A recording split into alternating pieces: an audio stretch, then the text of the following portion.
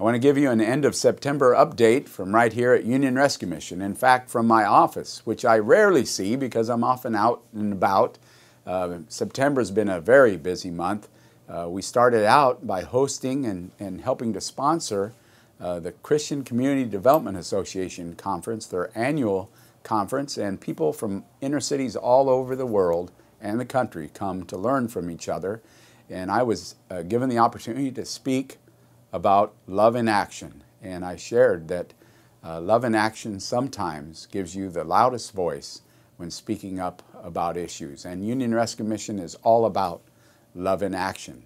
Uh, we had 19 beautiful women, proud women, courageous women graduate from our Hope Gardens Family Center this month.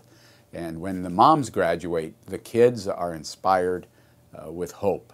I also had a great opportunity to speak at a CSQ gathering. Uh, it's a gathering of millionaires and billionaires, uh, which made me a little nervous. But uh, again, I got the chance to speak up about the passionate work uh, and was claimed to be a passionate visionary at Union Rescue Mission. But it's only because of this astounding place and the uh, amazing work that we do that I was asked to speak, and, and that was wonderful. I need to make you aware of our 125th anniversary celebration, October 24th, at the Hilton in Beverly Hills. And if you haven't gotten your tickets, uh, contact us. Contact Carmen Herring, K Herring, K H E R R I N G, at urm.org and get signed up. We want you to come out and celebrate because you are a huge part of our 125 years of history.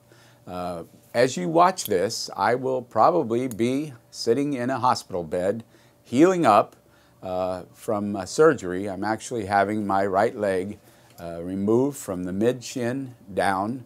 Uh, as you might remember, recall, I, I received three flesh eating diseases from the streets of Skid Row.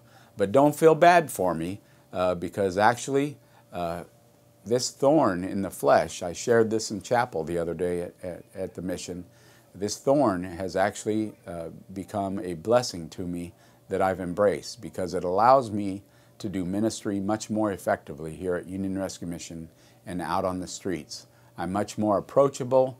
Uh, people aren't intimidated when I wheel up. Even a, a group outside that was dealing and smoking spice, I rolled up and began speaking to them. I'm never confused anymore being in a wheelchair. I'm never confused with being a uh, officer. Uh, so this has given me an advantage, and uh, I will be as strong or stronger than ever in my work. I do appreciate uh, your prayers, and I appreciate not only your prayers, but your support for Union Rescue Mission. September has been a tough month. We have so many people under our roof. We never turn away a woman, we never turn away a family, and right now we have 710 women and children uh, outnumbering our men by almost 200. It's like 710 to 540.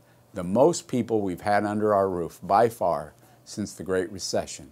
And this month, in the month of September, giving has been down and we've had to dip into our reserves for the first time in a long time. And we're supposed to be building up our reserves for the next downturn that could come. And so it hurts a lot to have to dip into our reserves. So please give what you can financially Help continue this great work. Help us to keep the doors open to every woman, every family that comes to our doors. God bless you and thank you.